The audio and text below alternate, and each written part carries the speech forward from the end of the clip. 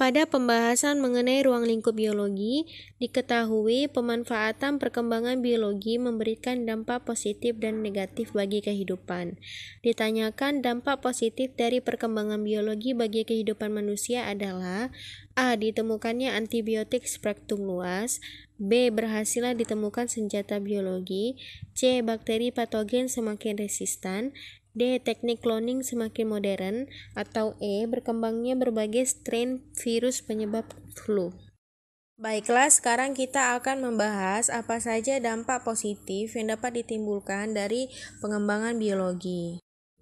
Yang pertama yaitu pemenuhan kebutuhan pokok pada manusia di mana dengan pengembangan biologi kita bisa dengan mudah memenuhi kebutuhan pokok seperti contohnya kebutuhan makanan, pakaian, dan perabotan rumah. Nah, kemudian yang kedua itu adalah pemanfaatan dalam hal obat-obatan. Nah, dengan adanya pengembangan biologi akan semakin mudah untuk membentuk obat-obatan dan membuat obat-obatan yang bisa menyembuhkan berbagai penyakit yang diderita manusia. Kemudian yang ketiga yaitu penemuan bibit unggul di mana dengan adanya bibit unggul bisa meningkatkan kemajuan peternakan dan pertanian. Kemudian yang keempat yaitu melestarikan lingkungan. Nah, dengan adanya pengembangan biologi, kita dapat melestarikan lingkungan e, dari bahaya atau global warming yang sedang terjadi. Dengan begitu, kita akan bisa mengurangi dampak dari lingkungan-lingkungan yang berbahaya. Nah, sedangkan sisi negatifnya yaitu yang pertama Pertama, dampak negatifnya yaitu dijadikan sebagai senjata biologi.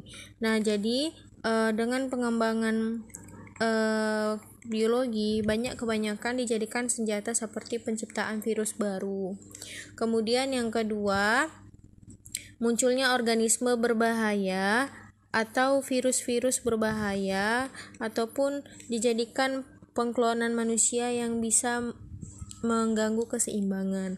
Kemudian yang ketiga, mengganggu keseimbangan.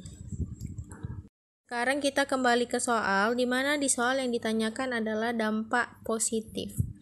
Nah, jadi kita mulai dari A. Ditemukannya antibiotik spektrum luas yang merupakan dampak positif. Kemudian senjata biologi yang B itu adalah dampak negatif.